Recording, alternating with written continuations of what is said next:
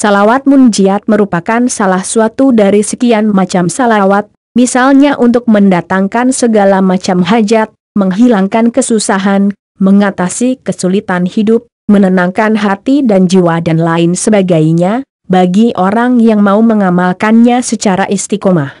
Khasiat dan manfaat salawat munjiat 1. Mendatangkan hajat dan untuk meraih segala macam cita-cita.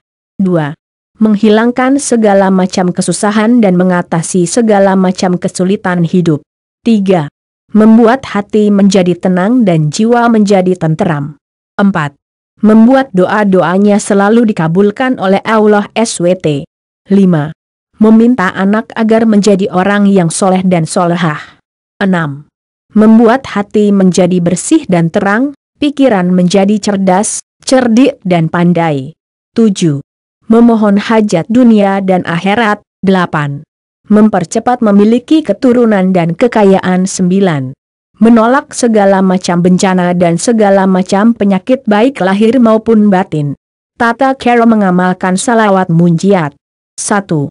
Jika salawat munjiat ini dibaca sebanyak 500 kali setiap hari secara istiqomah, maka ia akan dapat mendatangkan segala macam hajat, berhasil segala macam cita-citanya, berhasil segala maksud dan tujuannya, baik urusan duniawi maupun uhrawi, dan dapat mempercepat memiliki keturunan dan mendapatkan kekayaan yang besar dan luar biasa. 2. Jika salawat munjiat ini dibaca sebanyak seribu kali pada tengah malam, jam 24, setiap harinya secara istiqomah, maka dapat menghilangkan segala macam kesusahan dan dapat mengatasi kesulitan hidup di dunia maupun di akhirat, dapat membuat hati menjadi tenang dan jiwa menjadi tenteram, dapat membuat semua doanya atau permohonannya selalu dikabulkan oleh Allah SWT baik permohonan itu berupa hajat dunia maupun hajat akhirat, maka akan dikabulkannya dengan cepat lebih cepat dari kilat dapat membuat hati menjadi bersih dan terang serta dapat membuat pikiran menjadi cerdas, cerdik dan pandai. Dan dapat menolak segala macam bencana, malapetaka, musibah, wabah, tahun, penyakit menular, dan segala macam penyakit lahir maupun batin. 3. Jika salawat munjiat ini dibaca 11 kali setiap hari secara istiqomah sehabis sholat fardu, maka segala macam permohonannya akan dikabulkan oleh Allah SWT. 4. Jika salawat munjiat ini dibaca 41 kali di saat lahirnya seorang anak, insya Allah anak itu akan menjadi orang iksoleh, solohah, alim dan yang berguna bagi agama dan bangsa. 5.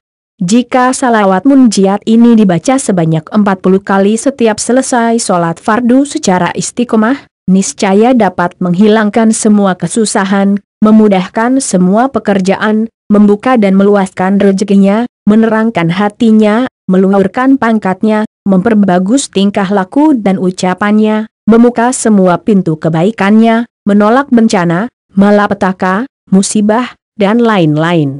Teks Arab Bacaan Salawat Munjiat. Bismillahirrohmanirrohim Allahumma sholli ala sayyidina Muhammadin sholatan tunjina biha amin jami'ilah wa ali wa afaati wa takdiyil ayan aabiha jamiyal haajaati wa tutahhiruna abiha amin esa ye ye ate wa tarfauna biha inaka ala darjaati wa tubalikuna abiha aki go ati min jami'il khairu fil hayati wa badal mamaati. Arti salawat munjiat Artinya, ya Allah, limpahkanlah rahmat dan keselamatan kepada junjungan kita Nabi Muhammad SAW. Melalui rahmat itu engkau menyelamatkan kami dari segala ketakutan dan malapetaka. Yang dengan rahmat itu engkau memenuhi segala hajat kami, yang dengan engkau mensucikan kami dari segala keburukan, yang dengan engkau mengangkat derajat kami setinggi-tingginya, yang dengan engkau mengantar kami ke tempat yang paling ujung dari semua kebaikan hidup di dunia dan kehidupan setelah mati.